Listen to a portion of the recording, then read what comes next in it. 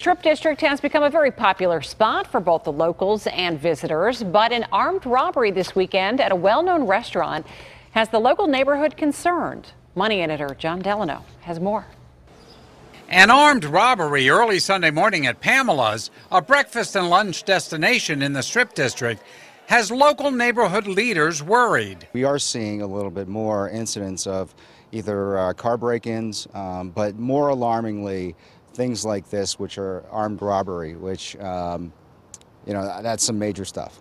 Mike Lee, who runs Strip District Neighbors, an organization that represents residents, merchants, and property owners in the Strip, sees an uptick in crime but insists we have the lowest crime stats in the city. We've never thought of the Strip as an unsafe neighborhood. It's always been like family. But shortly before 5 a.m., two males wearing hoods, one armed, tied up an employee as he was opening the restaurant and stole an undisclosed amount of cash. We're not going to give up on this. The police have agreed to have a presence here early in the mornings.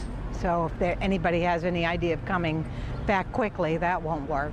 The restaurant was open for business as usual. Pamela's had some motion lighting officials out here Monday morning, and they're certainly looking to upgrade their security.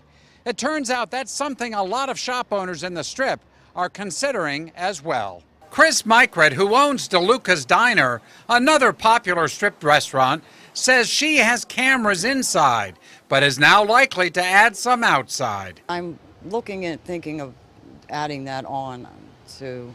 I always did want to do that, but just never got around to it. It's good to have. Christian Fletcher owns Pennsylvania Libations, which sells Pennsylvania liquor right around the corner from Pamela's. I felt really, really sick kind of to the stomach in a sense that something like that could happen so close to home.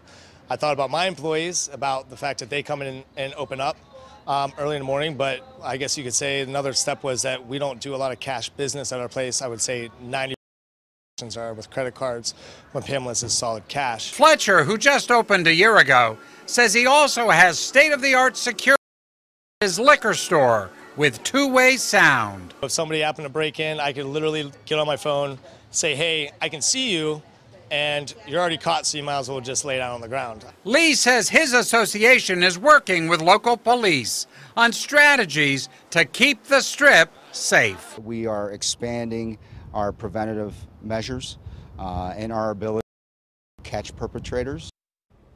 Now, some of those strategies could include a stronger police presence with police walking the streets. Another approach is to link all the privately owned cameras with city cameras to create something called a virtual block watch, allowing police near instant access to any crime about to happen. With the strip so popular with locals and visitors alike, everyone says what happened at Pamela's this weekend cannot be allowed to be repeated. Stacy?